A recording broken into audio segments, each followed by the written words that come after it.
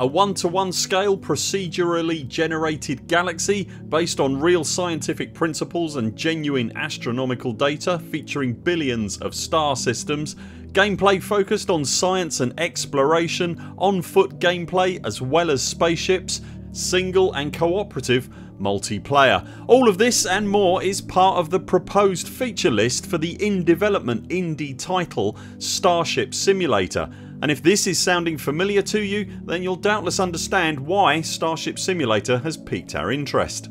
To the casual observer Starship Simulator may appear to be just an attempt at a Star Trek rip-off but whilst the tech demo for the game, which is available to download and try now, does share some obvious design cues from shows like Star Trek, the proposed gameplay options go way deeper than the more channelled and less open world offerings that particular franchise has historically been able to offer up when turned into a game. Not only is Starship Simulator not going the heavily scripted spoon fed story experience way with its players instead being encouraged to, dare I say it, blaze their own trail but the experience doesn't begin and end with the sliding doors at the back of the familiar bridge setting.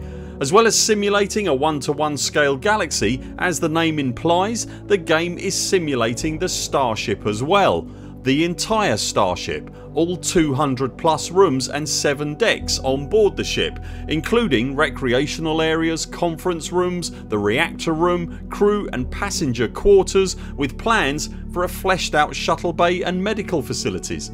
And with all these additional rooms on the ship then the roles available to players particularly in multiplayer expand to accommodate them. Choose to be the ship's engineer and you'll find yourself responsible for maintaining and repairing the ship's systems, ensuring critical systems in particular are ready when the bridge crew demand them, just like a regular miracle worker. Science officers will work from a dedicated bridge station scanning stellar objects and performing tests on samples and procedurally generated artefacts gathered by the ship and crew. Once deemed safe these artefacts could even be used to adorn your ship. Likewise tactical officers will handle the ships defences from a dedicated station on the bridge but during away missions down to the planet's surface via shuttlecraft launched from the ships aft shuttle bay you'll also become the teams security detail. There's even a planned role for a morale officer doubling up as a chef and barkeep in the lounge area. You'll doubtless need to include excellent listener there amongst your skill set. Not only is the plan to fully outfit the ship with a full complement of roles to be filled NPCs can also take the lead with this stuff by the way for the more single player minded but as I mentioned and indeed as the name implies the starship itself is fully simulated Right now the tech demo features a working reactor and electrical system complete with banks of batteries and a working electrical distribution system with usable switches and multiple points of potential failure. Power can be shunted away from an entire deck for example plunging it into darkness and the system is only set to expand in the future. The ship itself including its wiring and systems have been designed in CAD software using the same real world principles as modern naval vessels and then ported into the Unreal Engine. Every button, switch and readout on the ship does something.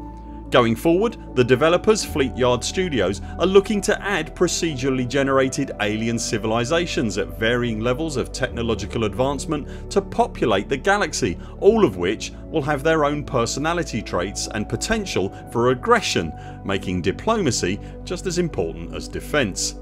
As you'd perhaps expect your character will be fully customisable but you'll also customise the ships interior colour scheme and lighting without the need to purchase skins or paint jobs.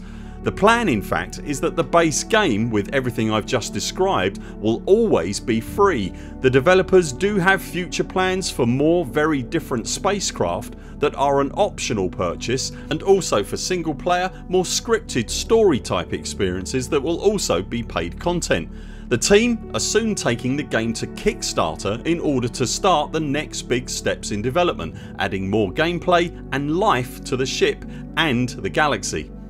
Right now Starship Simulator is one of the featured titles in Steam's Next Fest that aims to showcase and promote promising upcoming games. That festival runs until the 26th of June. You can download the tech demo of Starship Simulator for free and take a look around the ship in single or multiplayer whilst also exploring the galaxy. You'll find links below to the Starship Simulator Discord server and website if you're curious to learn more. That's it for now. We'll be back later this week with more videos. If you enjoyed this video be sure to like and subscribe to make sure you see all our content and if you'd like to help support our work here at the Buur Pit you can also become a patron and gain access to exclusive perks, content and community events just like the wonderful folks you see listed on screen right now.